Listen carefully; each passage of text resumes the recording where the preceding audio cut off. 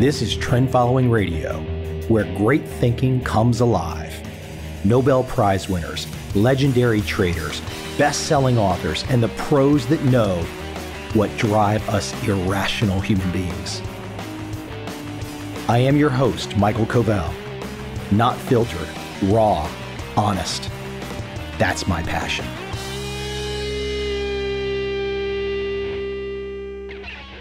My guest today is Tero Isokauppila from Finland. My first guest from Finland, as far as I know. And he has a great backstory. A former nomad turned mushroom loving foodpreneur. Yeah, this one is completely outside the box for my podcast. Well, hold on. Maybe it's not so outside the box. I'm outside the box. I want to be outside the box.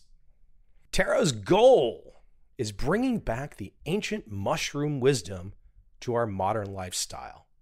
So, not only is this conversation going to be about mushrooms and all the benefits, something new to me, but also the launching of a company, a really successful company that is growing and taking off. Boom. You got to love those two things bringing in a piece of wisdom about food that can help us all and watching from afar, learning from an entrepreneur who is hitting the gas to the floor and taking off. I hope you enjoyed this conversation with Tero, and let's jump right in.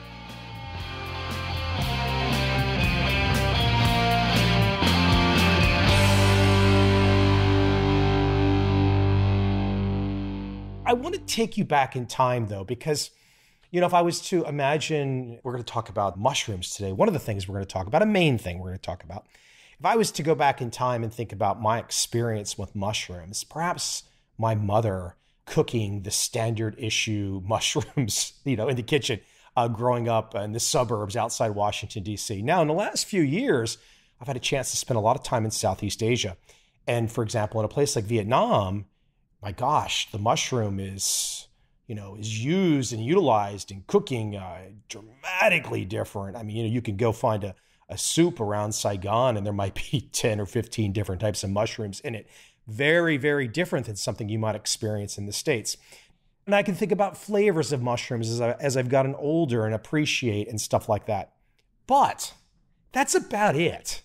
You know, that's unfortunately and sadly about it. So I start to read your background. I'm like, oh, wow, okay. And the first thing that strikes me, and this is where I'd like to start, is let you to really get to lay, before we dive into more of your world and where you've taken things, the properties of mushrooms. For me to have the reminder of something like, oh my gosh, penicillin.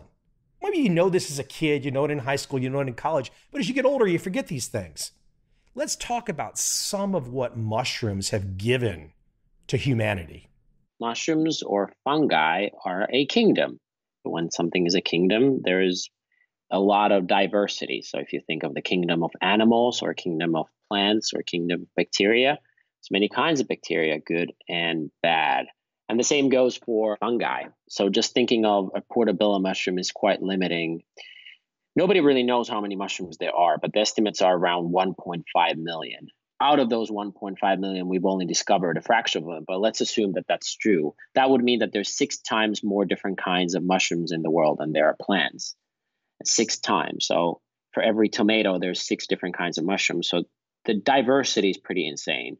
What have they given to the world? I mean, mushrooms create a lot of the topsoil. So topsoil is needed for plants to grow. And uh, almost all plants, and so anything you eat in the plant kingdom, but also the trees and the bushes require mushrooms to collect water and nutrients. So plants wouldn't really exist without mushrooms. Uh, mushrooms are used for a lot of food products. So from beer to wine to bread to cheese, those are kind of more the common ones, but also the culinary mushrooms are a great source of essential vitamins and nutrients, and we can talk about those at detail. And then there's these functional mushrooms that offer even more superfood type benefits. And then there's psychedelic mushrooms, and some argue that we learned how to speak and become Homo sapiens with the help of psychedelic mushrooms.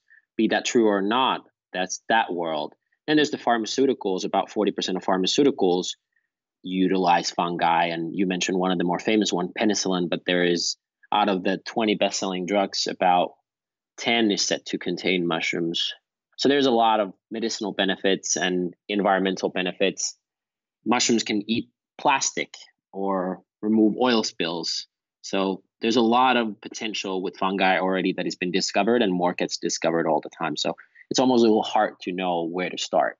I hear you on that. And I have to say, which is given the breadth, the depth that you've just kind of outlined at a really kind of cursory level, it's really interesting. And I want your perspective here that you're kind of inventing a category that people have not really focused on. Meaning, of course, yes, you you outline the all the benefits and and rationales as to why fungi mushrooms are so important to us.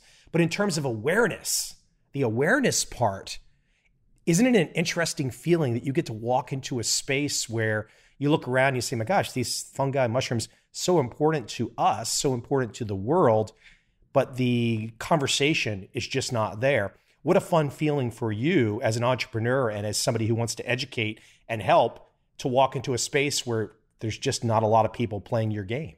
In all fairness, there is a lot of people playing the game. It's just not visible for the masses or mainstream, I would say. That's what I mean. I mean, for me, I'm not thinking about mushrooms on a, on a daily basis, but then I see your world and I'm seeing what you're doing. And I'm like, oh, wow.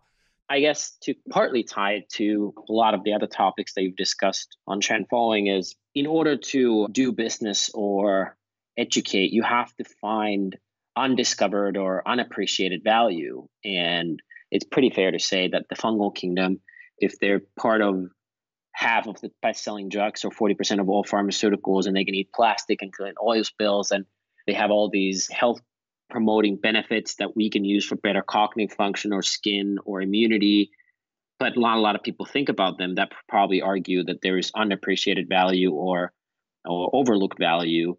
And as an entrepreneur or an educator the whole point is discovering value that other people don't know and then spreading that to others. And then the value gets spread and and then you hopefully also benefit but the common collective also benefits let me take you back in time. Before we start to get into all the nitty gritty i want to know the foundation so you know we're going back a family farm. It's been in your family for 13 generations i believe. And you as a young guy growing up foraging for mushrooms is just part of being in the family and whatnot now, that's a quite different experience from someone like me. So, I mean, I'm having to vicariously imagine as a young boy, instead of doing what I did as a young boy, imagine having the experience that you did. Why don't you explain that experience, some of your, your family ancestry, and how you first became exposed to mushrooms? If there was an early story, an early experience, what was the conversion? For you where you said, my gosh, this must be my life passion? And that might not have happened when you were 10. I get it. I grew up in Finland, uh, about two hours north of the capital. Often when I meet people, they ask, oh, where in Finland are you from? And then I ask, how many cities do you know in Finland? And some know Helsinki, but the area or the town where our farm is is quite famous. It's called Nokia, and it's famous for obviously mobile phones, where um, the Nokia technology and production empire back in the day started a long time ago. But I grew up there, and Finland has been independent now 100 years, and the farm has been over 13 generations. So the farm has seen civil war and was 100 years under Russian ruling, and 600 years Finland was part of Sweden. So that's why we're still bilingual, both Finnish and Swedish. Growing up in a small country, which very few people know, is obviously very different. And for multiple reasons. One is that you learn a lot of languages, you're more outward facing because you know that your country is tiny and relies so much on exports and being inclusive with the world versus exclusive with the world. So Finnish educational system is pretty good and there's a lot of technology and a lot of understanding of rest of the world which i've only come to understand later that that's that was special because when you grow up you think it's normal and as far as my background goes growing up at the farm it was a lot of hard work is quite cold and the climate is pretty harsh. So growing up in that setting, and then basically through my both of my parents are in the health, wellness, agriculture. So my dad is an agronomist, and my mom is a teacher, professor in in nursing, physiology, and anatomy. And the early memory is me going to the forest.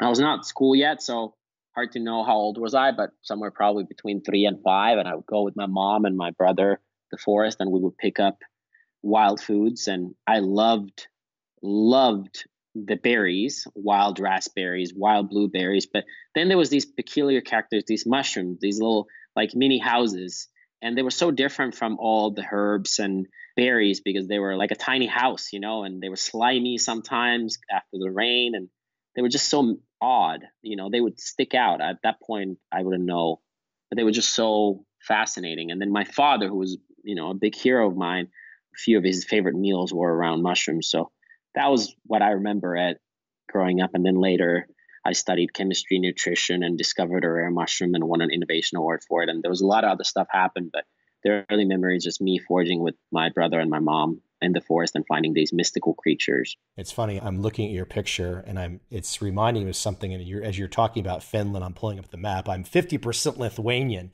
My father's 100%. I have a ton of relatives that I would say, "Oh my gosh, okay." I'm looking at close proximity. I'm seeing a, a, very similar look and feel. So not me. I got blended in with my mom, so I'm kind of half and half. So, but yeah, 50% Lithuanian. Yeah, that's great. I've been there, and for a long time, there was a big divide as Finland was longer independent than Latvia, Lithuania, and Estonia. But there's a big connection there. We're all like next to uh, the big Russia and and the impact of that. That'd be a whole different conversation to go down that historical sure, Very much. Quite be interesting to both of us, but uh, maybe that's for another day. Let me jump right into the heart of the matter. A functional mushroom. I don't know what a functional mushroom is. I'm guessing the vast majority of my audience does not know what a functional mushroom is. Let's break it apart there. I mean, obviously, that's going to be a big banner and a lot's going to come underneath it, but let's start there. The cliff notes. So, how do we provide value to everybody listening? And how they become a mushroom expert in the next few minutes. So, on a high level, there's obviously many kinds of mushrooms because it's a kingdom. Some of them are invisible. You can breathe in mushroom spores. You're not going to know. I mentioned that you can find them in bread, wine, beer, kombucha, in so many ways. But then the more common form is what is called a fruiting body. So when you go to the grocery store and you go to the area where you have these mushrooms, these sometimes they look like the common cap and a stem model. Sometimes they look different, but these are the fruiting bodies, and, and a lot of people associate mushrooms with them. And, and there's two kinds of main groups of mushrooms. There are culinary mushrooms, and then there's functional mushrooms. And, and the names, I think, is pretty indicative. Culinary mushrooms you eat mostly for the flavor only, and the functional mushrooms you eat mostly for their health benefits. That doesn't mean that the culinary mushrooms had no health benefits. Uh, they do, and then doesn't mean that the functional mushrooms wouldn't taste great. And there's some overlap. So Common culinary mushrooms include like butter mushroom, morel, chanterelle, porcini, and shiitake, which is also a functional mushroom, which is kind of one of those that is in both buckets. And then the functional mushrooms might be shiitake, maitake, reishi, chaga, some more exotic, some more familiar. And the difference, generally speaking, is that culinary mushrooms grow on the ground, functional mushrooms grow on trees which is a lot of people don't realize. And and then culinary mushrooms might have fiber and no cholesterol and some protein and some of those things, but then the functional mushrooms have incredibly high amounts of health beneficial compounds. They could be things like B vitamins, riboflavin, niacin, pantothenic acid, things that are good for energy, skin, the eyes. Vitamin D is one of the only non-animal based sources for vitamin D is in mushrooms there are minerals, there are these polysaccharides that support your immune system, and some of them are adaptogenic, which means they help your body to adapt to stressors.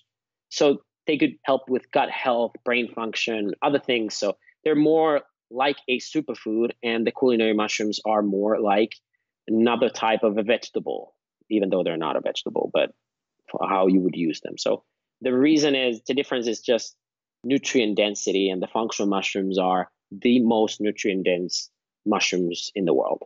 You know, one of the I was thinking is uh, before we started chatting today, I was thinking about habits that I've changed of mine in the last, let's say, 10 or 15 years. One of the habits that I changed or or started, I should say, is the consumption of non-sweetened green tea. I, am pretty much an, an, addict.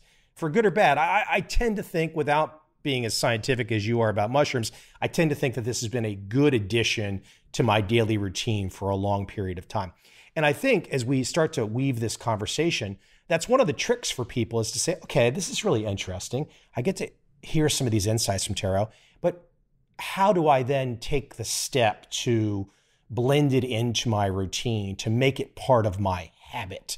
And for example, and this is where I would love for you to kind of explain this, if we were to talk about something like gut health, most people, before we even get to the point of what your insight, your expertise would be to tell people why mushrooms can help on gut health, people probably don't even think about what gut health is or why they should be thinking about it. So, why don't I give you the floor to kind of give people a little bit of that broad overview on gut health and how, for example, just to go in a great example, how fungi, how mushrooms can help? Yes, gut health is, in my books, one of the three most fundamental and underappreciated aspects of human physiology. The other ones are hormonal imbalances or hormonal balance, and then immunity. And a lot of people misunderstand all three. But just to stick with the gut health, the gut is your second brain. And this is not just a catchphrase, this is quite literally your gut health is tied to a lot of the nervous system and how your brain works. So, bad gut health could, for example, create inflammation in the body, could create brain fog, could create all kinds of rashes in your skin, discomfort. There's so many things that can happen because of good or bad gut health. Also, the absorption of nutrients is highly tied to gut health. So, gut is our second brain, and and we have something like over 10 times more different types of bacteria in our body than we have cells. And there's a lot of cells in our body. So, gut health is very important. And mushrooms and bacteria, which are two of these kingdoms that I mentioned, have this synergetic relationship. And a lot of fermented foods, I mentioned beer, wine, and, and kombucha, but they have this relationship with yeast and fermented foods that are good for the gut. And mushrooms and fungi have this very synergistic relationship in many ways. But gut health, very important for cognitive function and general health. And I would say that it should be on everybody's health strategy list is how to optimize for gut health. Okay, connect the dots to mushrooms though. So the consumption of what mushrooms? Someone wants to take an action item away. It's like, okay, this guy's telling me that I need to refocus on my gut health. Makes a lot of sense to me. We're talking mushrooms. Connect the dots for people. How can they take the next step? What kind of habit can they develop or change about their daily behavior? A lot of people have recently started taking probiotics for good bacteria, basically adding good bacteria to their body. What a lot of people don't know is that it's very hard to benefit from probiotics unless you just had an antibiotic and your gut is like a clean, clean slate for the better for worse. So changing gut biome with probiotics is very difficult. What is proven to be more powerful is prebiotics, and prebiotics are fibers basically that are food for for the bacteria in your gut. So they're food for those bacteria. And mushrooms are a prebiotic. And in general, by the way, one of the most easiest ways to improve general health is eat more fiber. And that doesn't mean granola or cereal, but actually like non-starchy vegetables that have a lot of fiber. Mushrooms have this good dietary fiber. Dietary fiber is important for the digestive tract and the gut health.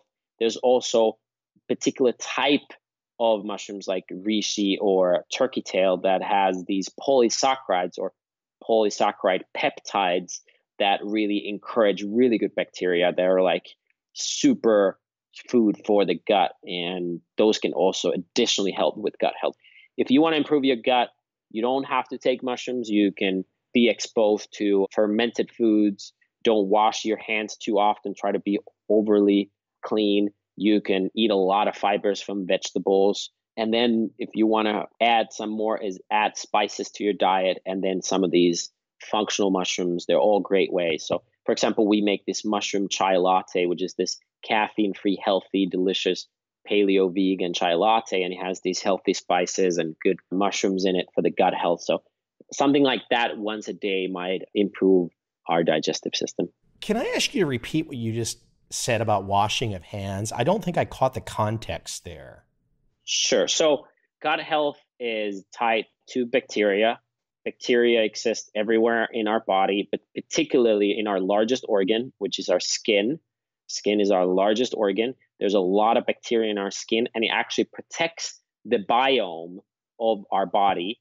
So a lot of people overly try to wash themselves, especially with these synthetic chemicals that really discomfort the biome on our skin. And that further jeopardizes our immune system and our general bacteria in our body. So, besides gut health, the skin is a major factor in our biome and those are all very much connected. This is going to sound silly, and I'm going to jump from this point, I'm going to jump straight into the entrepreneurial world, the building out of your business.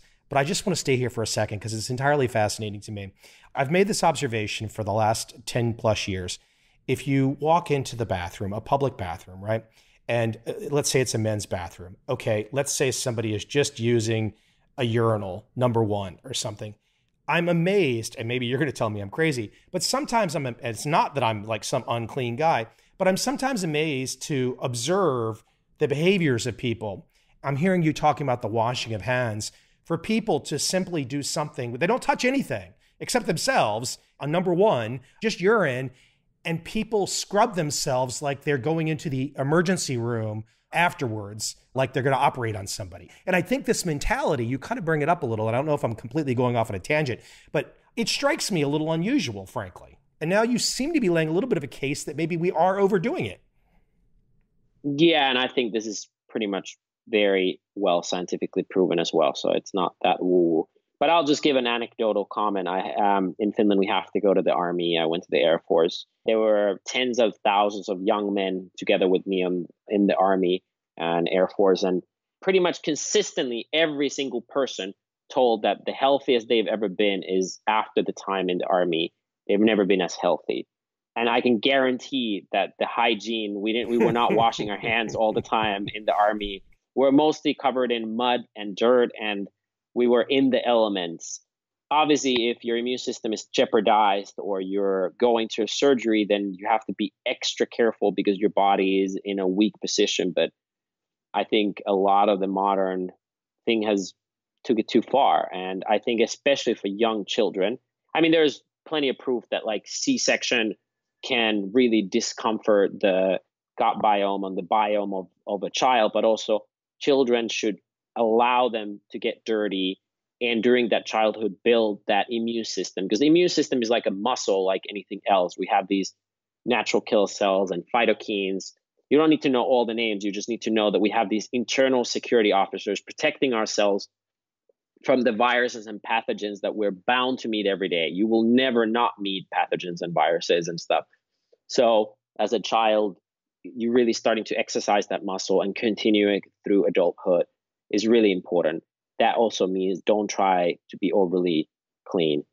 And, and then getting, like I said, fermented foods and other things that also support the gut Personally, I've not been sick for one day in 11 years. During that time, I've lived in eight countries. I travel all the time. Never been sick one day during those 11 years. So, you know, it's interesting. You mentioned you were in the elements while in the army. Well, the elements would be mushrooms, right? I mean, if you're in the elements and you're out and about, you are being exposed just naturally, almost the mist situation. But hey, given your background, you also study chemistry, so you've got some some deep background in many of the topics we're talking so far. At some point in time, you say to yourself, and I don't know how this happened exactly. You're going to tell me, but you want it to be more than just somebody telling the gospel of fungi to uh, friends and family. And you thought to yourself, you know, I can imagine a business. At some point in time, you thought that. So, how did that happen? How did that switch flip? growing up in the industry and about 13 plus years ago, I discovered a rare mushroom and won this innovation award for it. I ended up donating the idea to and the business to a university instead of running it myself because I didn't feel back then that there was a channel to change the status quo in health and wellness. It was dominated by large companies and the narrative was hard to control because the control was in TV in 2010 started planning for four sigmatic that launched in 2012 and the change really what got me excited was the blogosphere that was just web 2.0 how normal people without mass media could share information with each other for free or almost without any cost associated and more radical non-conventional but scientifically strong arguments and theories could spread more easily. And that got me excited. Now, obviously, what we're doing as well is another free way for people to share radical ideas or different opinions or new viewpoints on something existing. And that just didn't exist 10 plus years ago the same way. And and that got me excited. And I started thinking, how can I impact the global health and global consciousness the most? That sounds very esoteric, but I went through this. I'd worked in management consulting in between my uh, farming and starting this business, and I started breaking down and I figured what are the most impactful areas, and I mentioned them to you. That was a hormonal balance, gut health, and in, immunity. During those areas, I looked at what are the best natural solutions for each one of them, and then mushrooms came up, and and other some superfoods and adaptogens that we're focused on. Started working on it.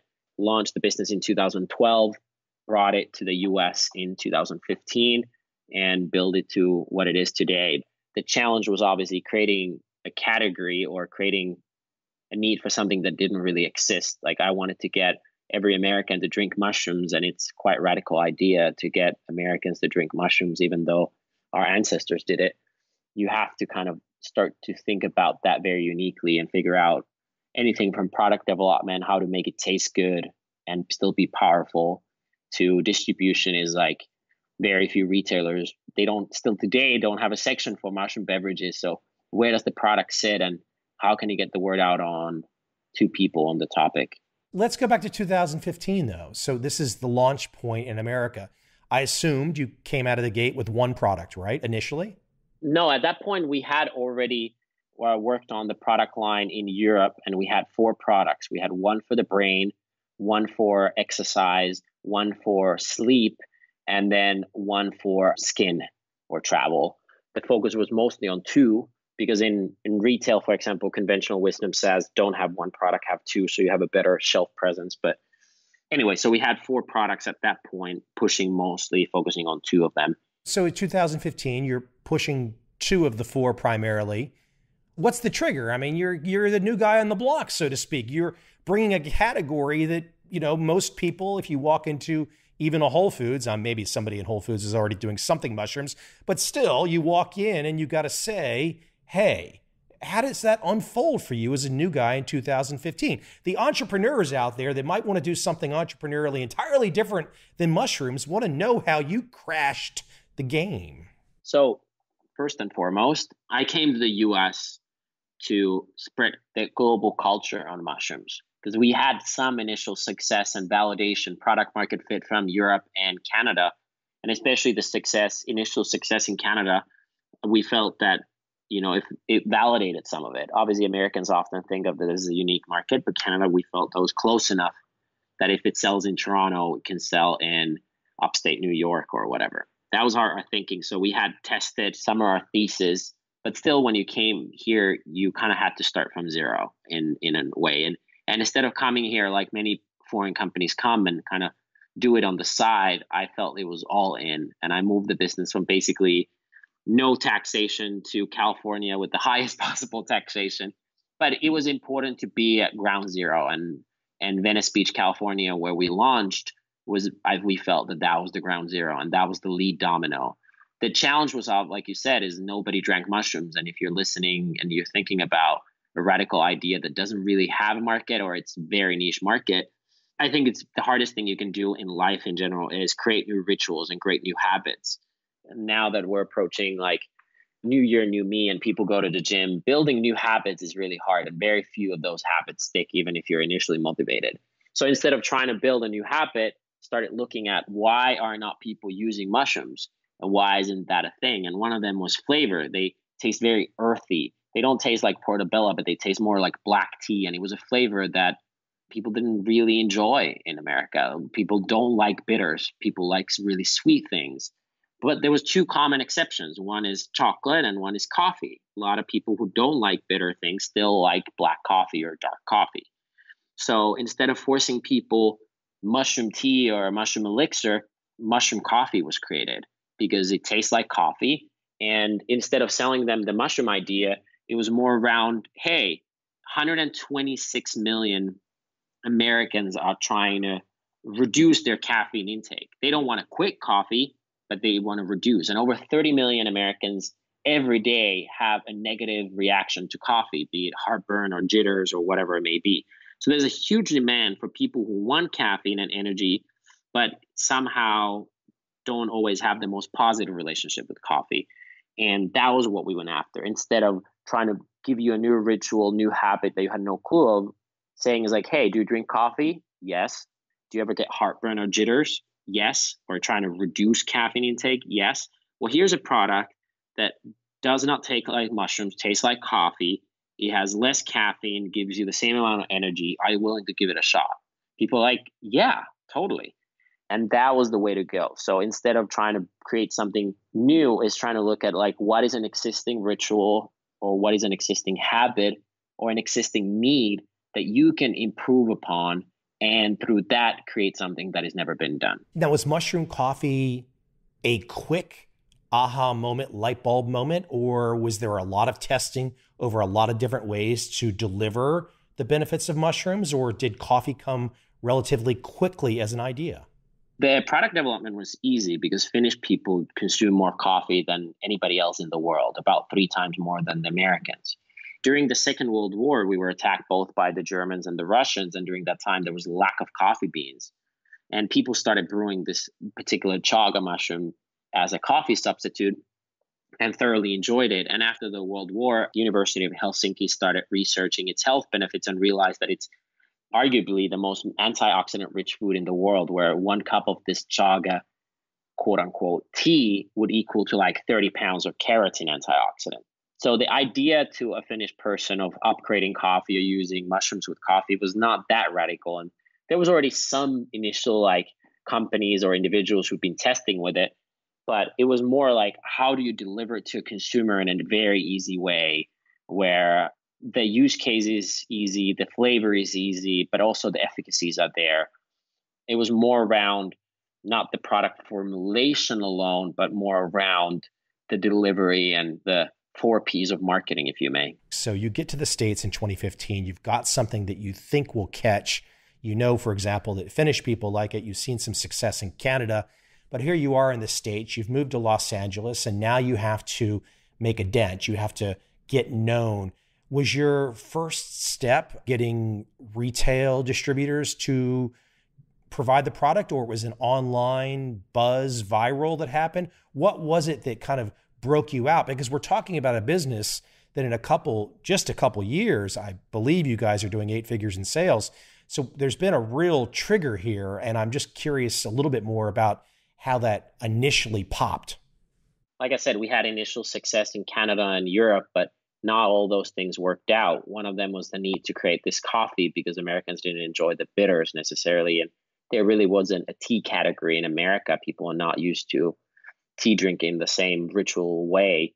The other one was that we had sold in retail, we had distributors, and in Europe, every country kind of has its own language and labels and all that complexity. In the US, the good news is that you have one language, one market, even though states have some unique stuff, but in coffee and tea, not really.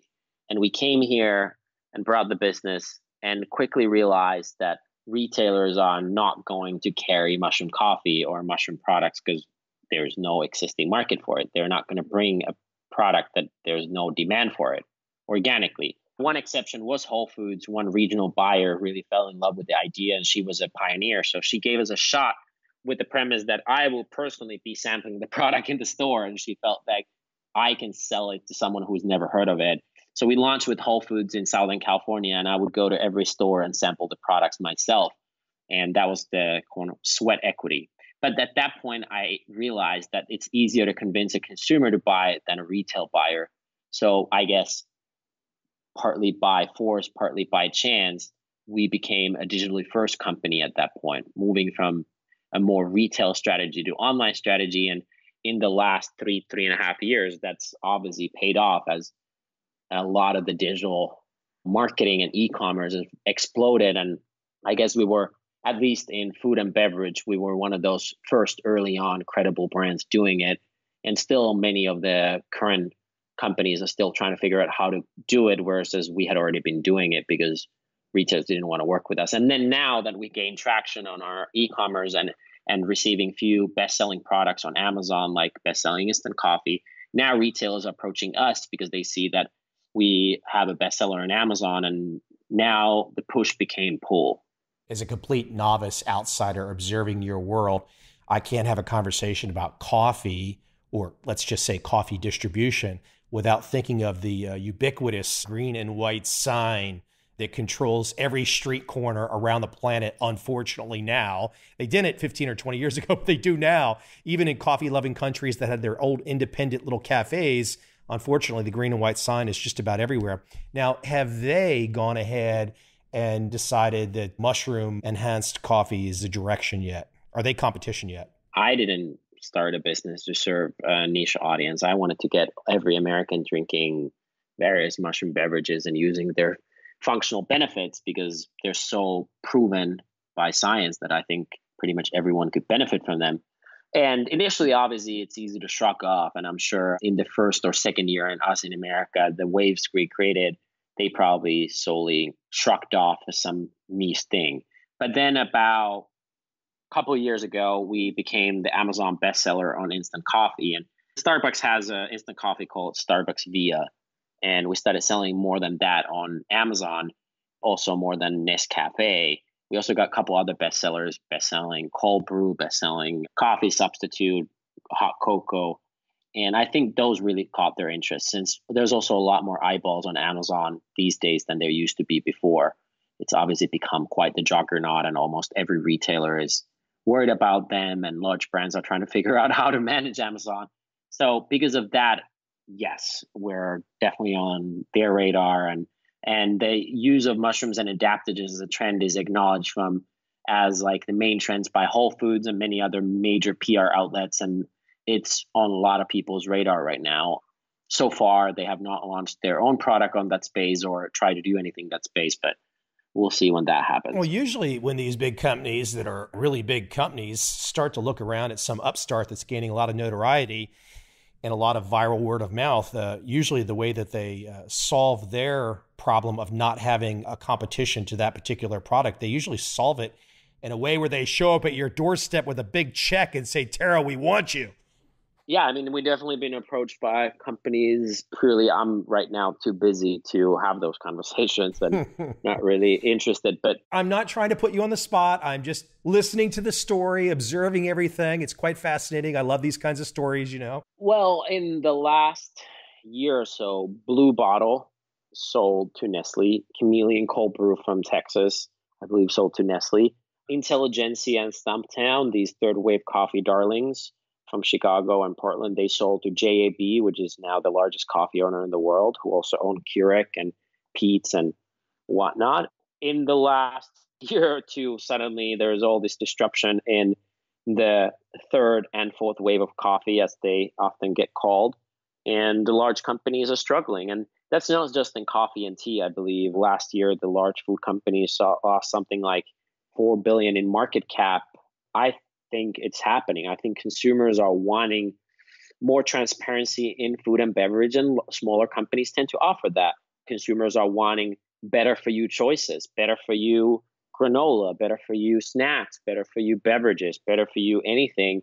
And a lot of these small, innovative, agile brands are serving the changing consumer needs faster and more authentically than these large brands. And I think it's happening across the board, not just with mushrooms or coffee, but pretty much anything in consumer packaged goods and beyond.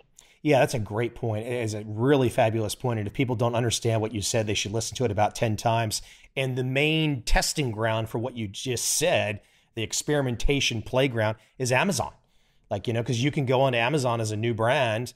And if you offer something cool, offer something that's useful, something that people like, wham, bam, thank you, ma'am. A couple years later, everyone's talking about it. Before, it was really hard to get quote unquote distribution with the Targets and Krogers and Safeways and Walmarts of the world because it was few decision makers, few gatekeepers that were saying what is allowed and not allowed to be sold to mainstream America. Then e commerce emerged, and while a great idea, it was hard for early stage companies to find traffic or eyeballs for these radical ideas because they couldn't compete with the marketing budget of Campbell's or Kraft Heinz or Nestle, Danone, whatever. Amazon is not saying it's perfect, but in a way kind of helps some brands solve that is They have a platform that reaches most of America.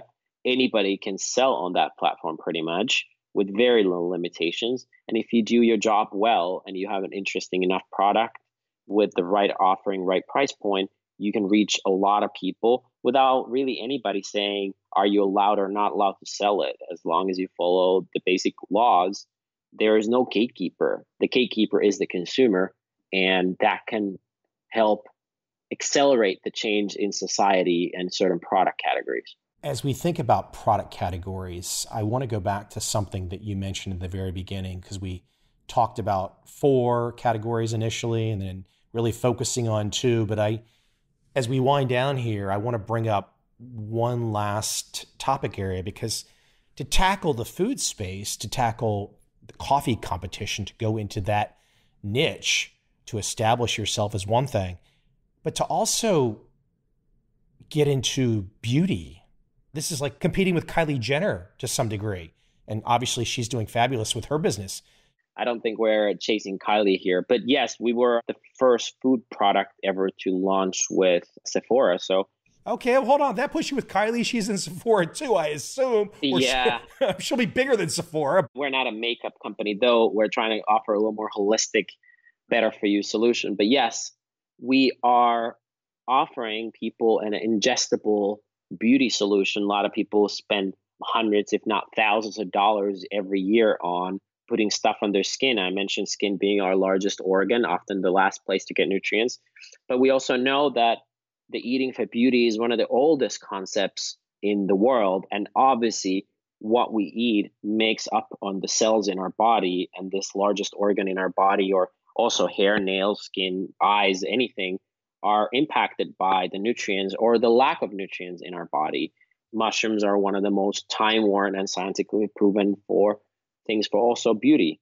And it's used in skincare products for a long time by multiple prominent brand, So it's not that surprising somebody who's spent time in beauty, but this is another space we've kind of half randomly, half consciously entered, and it's it's again disrupting something big besides coffee, tea, and cocoa.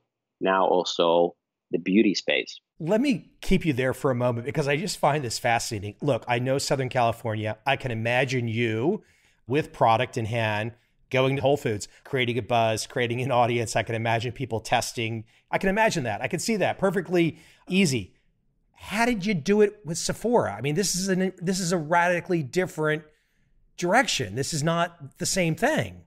They approached us. We've both very organically been talked about by Vogue, Harper's Bazaar, W Magazine, a lot of these beauty fashion outlets and it's been a buzz mushrooms and adaptogens kind of on the next phase of of beauty. Also i think that industry is also waking up to more ecological clean ingredients and more holistic lifestyle how it's not just the stuff that we put on our skin but also what we eat that builds that skin is waking up. So it was you know it's a perfect storm of the industry being in the right time right place but also our brand getting traction in there once you obviously look at the science, it totally makes sense. But initially, it sounds a little odd. Same way as it sounds odd that you will push your phone and jump in a car with a stranger that will take you somewhere. But same way now, Uber or Lyft are doing quite well, or that you rent your home to a total stranger who you'll never even meet necessarily. And it, right now, Airbnb is doing all kinds of crazy stuff. So some of the most obvious ideas are initially seems crazy or wild. But then once you start to try them, you're like, yeah, actually, mushroom coffee or eating mushrooms and adaptogens for your skin makes total sense. But initially, it's just kind of crazy. And that's why they're entrepreneurs, I guess. Listen, I love it. I love what you just said. Again, as I said earlier, that people should rewind and listen to what you said on that one sentence. They should rewind again there because it's very difficult for people to grasp what you just said if they haven't lived it. And I think what's so beautiful about what you have built so far, and I see this across a lot of different entrepreneurs, I like to sometimes think I see it across myself a little bit, is that to take the chance to say, what is there in my life right now that I love, that I'm doing, that makes me so excited? And now I want to tell the world, and I want to share it with the world authentically, and then good things can happen. You are not going to win a large company by playing safe you have to look at what are the things that you can compete if you don't have those financial or human resources to compete with these large juggernauts. And often the ways how to do it is be more agile, be closer to the customer, listen to their needs, but then also take chances. And I did not necessarily feel that there it's even taking a chance on mushrooms because I knew they worked and I'd spent a long time working with them. But obviously how quick, quickly and in what way people would embrace them that was a bigger question mark and would i have to go out of business before that happens? There was another question. But i believed in it. But definitely being an entrepreneur is taking a risk. But then you would also argue that there is a huge risk by not doing anything and stopping innovation and becoming stagnant and not staying close to your customers and not being transparent enough. That's a risk by itself as well Yes, the opportunity cost people need to always think about. If you you think you're being safe by not doing something, uh, not exactly. Yeah, and like I said, it's not just mushrooms and coffee. It's a million other things where we're seeing this right now, and I think technology and the two-way street of social media interaction of between people and companies and com- people and people and companies and companies is really almost speeding that process. It's not changing anything necessarily, just accelerating the speed of change and adaptation of new things a lot. In terms of my audience right now going out and trying something, making a purchase, of course, you make it very easy. They can go to Amazon, they can look up Four Sigmatic and they will find your products. But is there a website you would like people to go to to check things out, or you just wanted to go to Amazon and try? A particular product? And is there a first product that you think people should try if they're saying, you know, I really want to go down the mushroom coffee path? I've never done this. Where should people start? What should they do? Give them some direction. First of all, you don't need to buy our products. I just hope that everybody will give mushrooms a chance. And if you're curious to learn more about mushrooms overall, I build a 100% free mushroom academy you just go to Google, type Mushroom Academy. There's three different levels. It will cost you nothing. And there's video lessons and quizzes on learning about the benefits of mushrooms for yourself and, and for the environment. There are also books and other resources that you can use, but you don't even need to buy. I just hope that people will be more curious about this kingdom that is so fundamental to all forms of life, including us humans. If you want to buy products, ours or someone else, I usually recommend starting with Reishi, which is the queen of all mushrooms. R E I S H I. It's a random Japanese name. A lot of mushroom names are from Japan. And the other one, the king of all mushrooms, is Chaga, C H A G A. So those are the king and the queen kind of good starting points. And I recommend starting with coffee or cacao with these mushrooms because they are bitter. And like I mentioned, those are the two bitters that most people enjoy. So you can choose between king or queen and cacao or coffee. And those are probably the easiest ways to get going. And there's a lot of places where you can purchase them, our products and others. Hey, best of luck. Great story. Great taking a chance. You know, whether or not people have any interest in my world or your world or whatever, the point is if you love something, take a chance and good things can happen. If you don't take a chance, then I guess you can just sit in the office cube and do whatever. Then one day you die. Exactly, Michael. And, and thanks for uh, letting me share my story and the message of mushrooms to your audience. And hopefully, people learned a lot as well. Thanks for uh, chatting. And hopefully, uh, all these listeners got somewhat more educated on mushrooms and, and building a business like ours. Thank you, sir. Appreciate it. Thanks, Michael.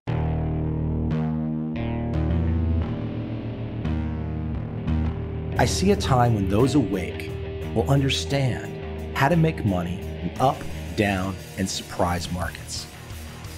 Whether new trader or experienced, college student or financial advisor, protecting against a crash or just trying to make a lot of money, trend following offers everyone an answer in uncertain times.